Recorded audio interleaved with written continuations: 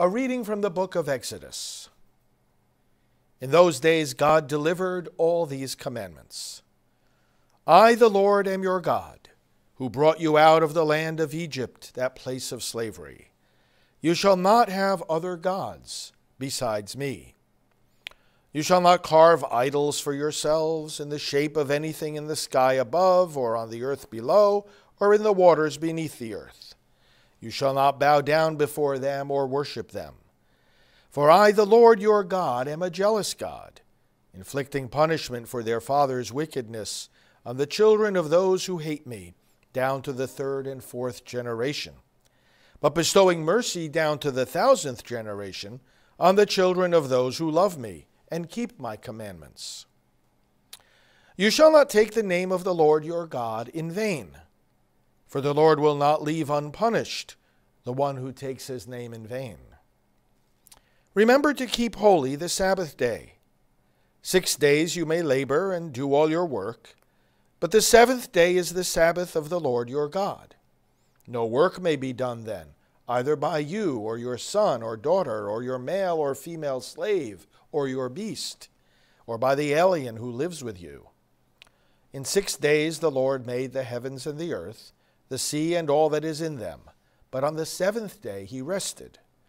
That is why the Lord has blessed the Sabbath day and made it holy. Honor your father and your mother, that you may have a long life in the land which the Lord your God is giving you. You shall not kill. You shall not commit adultery. You shall not steal. You shall not bear false witness against your neighbor. You shall not covet your neighbor's house. You shall not covet your neighbor's wife, nor his male or female slave, nor his ox or ass, nor anything else that belongs to him. The word of the Lord. Thanks be to God. Lord, you have the words of everlasting life. Lord, you have the words of everlasting life. The law of the Lord is perfect, refreshing the soul. The decree of the Lord is trustworthy, giving wisdom to the simple. Lord, you have the words of everlasting life. The precepts of the Lord are right, rejoicing the heart. The command of the Lord is clear, enlightening the eye. Lord, you have the words of everlasting life. The fear of the Lord is pure, enduring forever. The ordinances of the, of the Lord are true, and all of them just. Lord, you have the words of everlasting life. They are more precious than gold, than a heap of purest gold, sweeter also than syrup or honey from the comb. Lord, you have the words of everlasting life. A reading from the first letter of St. Paul to the Corinthians. Brothers and sisters, Jews demand signs and Greeks look for wisdom. But we proclaim Christ crucified, a stumbling block to Jews and foolishness to Gentiles. But to those who are called, Jews and Greeks alike, Christ the power of God and the wisdom of God. For the foolishness of God is wiser than human wisdom, and the weakness of God is stronger than human strength. The word of the Lord. Thanks be to God.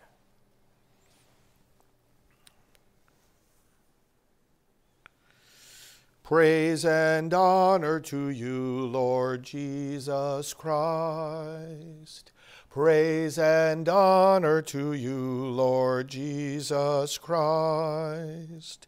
God so loved the world that he gave his only Son, so that everyone who believes in him might have eternal life. Praise and honor to you, Lord Jesus Christ. The Lord be with you. A reading from the Holy Gospel according to John. Glory to you, O Lord. Since the Passover of the Jews was near, Jesus went up to Jerusalem. He found in the temple area those who sold oxen, sheep, and doves as well as the money changers seated there. He made a whip out of cords and drove them all out of the temple area with the sheep and oxen, and spilled the coins of the money changers and overturned their tables. And to those who sold doves, he said, Take these out of here, and stop making my father's house a marketplace. His disciples recalled the words of Scripture Zeal for your house will consume me. At this, the Jews answered and said to him, What sign can you show us for doing this? Jesus answered and said to them, Destroy this temple, and in three days I will raise it up. The Jews said, This temple has been under construction for 46 years, and you will raise it up in three days? But he was speaking about the temple of his body. Therefore, when he was raised from the dead, his disciples remembered that he had said this, and they came to believe the scripture and the words Jesus had spoken. While he was in Jerusalem for the feast of Passover, many began to believe in his name when they saw the signs he was doing. But Jesus would not trust himself to them because he knew them all and did not need anyone to testify about human nature. He himself understood it well. The Gospel of the Lord. Praise to you, Lord Jesus Christ. He gives us the commandments. And Lord, you have the words of everlasting life. Do you know why it's so refreshing to us, so heartening to our minds and souls when we hear the words of God's commandments? We who have the Spirit of God, we are not cast down or discouraged when we hear the commandments. We do not groan and look at it as some oppressive burden when we hear what God requires of us, when we learn the moral law. The reason it refreshes our spirit is that we were made according to the Word. Remember how God made the universe? He spoke a word. That word, of course, is Jesus Christ. In the beginning was the Word, the Word was with God, the Word was God. Through him all things were made. Everything was made for Christ, through Christ, in Christ. And we were made by his Word. So the Word of God is it's in our DNA. It's how we're structured. It's the, it's the fit, it's the perfect fit for human life, for human happiness, for human community, for human fulfillment.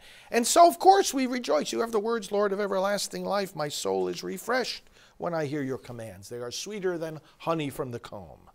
Because we're made that way. We hear the word and we say, ah, that's who we are. That's who I am. That's the way to happiness and fulfillment. We can look at what's going on around us in the culture of death. We can look at the sick, demented philosophies of those who push things like abortion. We can look at some of the bills that are introduced in these days in the Democrat Congress, and it's disgusting, it's sickening. And those are not the words of everlasting life that come to us from the Lord. Those are the words of everlasting death the sick and immoral policies that the Democrats try to push on us. Expanding, just as one example, more and more baby killing. The words of everlasting death. They distress us. And the reason they distress us is that because they, they, they, are completely contrary to how we are made. They go against every good and natural instinct in the human person. And there's a battle. The battle is on between those who believe in, live, and advance the commandments of God, which are the commandments of life, and those who push the agenda of death. And this is a battle, brothers and sisters, that we understand how to live and how to fight by probing more deeply into this saying of Jesus in today's gospel Destroy this temple, and in three days I will raise it up. The temple was constructed, the temple there in Jerusalem, which had in it the Holy of Holies, which was constructed, as we read in the Old Testament, under the very specific commands of God. He described exactly how it should be made. This was a foreshadowing of Christ. The temple itself was a foreshadowing of Christ and the church because he is the living temple. He was speaking of the temple of his body. But it wasn't disconnected from that temple that was there because that temple that was there was there as a prophecy of him. Destroy this temple, and in three days I will raise it up.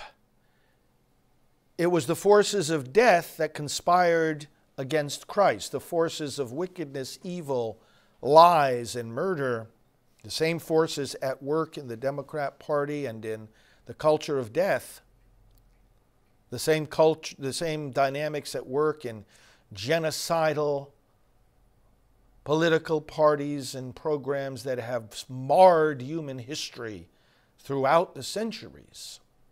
These are the forces that conspired against Jesus Christ and brought him to the cross. And he was raised precisely to counteract the forces of falsehood and death and corruption. He was raised precisely to counteract that. But the temple now of his body, gloriously risen from the dead, is the temple also of the church. In other words, all of us. Baptized, and now during Lent, those preparing to be baptized. At Easter, the catechumens of the church. By that power of baptism, we are incorporated into that living temple which is the body of Christ. Destroy this temple, and in three days I will raise it up, and then I will continue to build it. As more and more members are added to the church, more and more living members are added to the body. St. Paul talks beautifully in the New Testament about the church as the body of Christ, and we, individually members of it with Christ as the head. There are two other images. The living temple, Peter says we are living stones built into this temple. When your church was dedicated, you know, the bricks of the wall were sprinkled with water by the bishop. Each of those bricks is, represents each of us, living stones connected together in the temple of the church, and the water flowing over the bricks represents the water of baptism flowing over us. We are the living body of Christ, we are the living temple of God, the Holy Spirit dwelling within us, and then we are the branches on the vine. I am the true vine, Jesus said, and you are the branches. Again, the image of a living organism, the whole Christ, if you will. Christ as the head, we as the members. And this living body, temple, vine lives through the centuries fighting against those forces, the same forces that nailed Christ's body to the cross but could not keep him in the grave. Same forces and now it is we fighting against those things. Now, it's not that, you know, we know the difference between right and wrong and we see all kinds of wrong and evil going on in the world. and We pray to Jesus, please get rid of the evil, please help us overcome it. It's not us over here asking Jesus to fight the evil over there. It's deeper than that. We are the body of Christ. We are fighting against that evil together, the head and the members, the vine and the branches, the living temple. We together. This intimate union of the risen Christ with us, the baptized faithful, are fighting against and overcoming that kingdom of death and evil. And we're on a trajectory to the new and eternal Jerusalem where this will be brought to perfect fulfillment. And when we understand where we're going, we understand where we are. Let me go to the last chapters of the Bible, Revelation 21 and 22. John says, I saw a new heaven and a new earth. Now keep this in mind. We're going to read this with the perspective in mind that I just explained in the light of the words, Destroy this temple, and in three days I will raise it up. Jesus said, I will build my church. It's a constant building. Keep that in mind as we read here now the end point, okay, the fulfillment in that glorious kingdom of heaven. John says, I saw a new heaven and a new earth. For the first heaven and the first earth had passed away, and the sea was no more. And what did he see? What is this heavenly reality? He says it's a city. Oh, I saw the holy city, the new Jerusalem, coming down out of heaven from God. And now he's going to shift the image. The city is also a bride. Coming down out of heaven, prepared as a bride, adorned for her husband. So, who is this bride? We are. The church is the bride of Christ. It's a city, it's a bride. And now we read verse 3 I heard a loud voice from the throne saying, Behold, the dwelling of God is with people. He will dwell with them, and they shall be his people, and God himself will be with them. So there's this bridal unity, this marriage between God and his people, this perfect fulfillment of intimate life between God and his people forever in heaven. Again, the one living organism, right? The body of Christ, which we are now, the living vine, the living temple. So that's heaven, this city, this bride, God with his people. And because he is so intimately connected with his people, the passage goes on to say he'll wipe every tear away Death shall be no more, neither shall there be mourning, crying out, or pain, for the former things have passed away. Now, not only will there be no more death, crying out, or pain, there will be no more need for light from lamps or the sun, it goes on to say, because the Lord will give them light. So again, you see this intimacy. All these things we have around us to help us, the sun, or these lights that are on right here in this in this studio chapel, we won't need these, these intermediaries anymore. This so deep, so perfect is the union from God, between God and his people that God himself is our light. He's our sun. And then there's something else that is not there in the heavenly Jerusalem. And this would have been so astonishing to those who first read it, for whom the temple was so central. Verse 22 of Revelation 21 says, And I saw no temple in the city. Why not? Because, as I said, the temple was a foreshadowing, a prophecy of Christ and his church. Now that that is fulfilled perfectly, it's fulfilled now, it will be fulfilled perfectly in heaven. There's no need anymore for the physical temple. I saw no temple in the city, for its temple is the Lord God Almighty and the Lamb. Again, not separate from his people. The whole thrust of these last two chapters of the Bible is there's this intimate unity of God and his people. In fact, it goes on to say, They shall see his face, we who are in heaven, see his face, and his name shall be on their foreheads. His name shall be on their foreheads. Destroy this temple. And in three days I will raise it up. No power of death, no power of violence, no power of destruction, no power of falsehood, no power of sin is going to be able to overcome Christ and his church, the living temple. And this is the spirit in which we battle against the evils of our day, starting with the evils within us. Because when we hear the words of those commandments of today's first reading, when we hear all the teachings of Christ, our hearts are not burdened and downcast.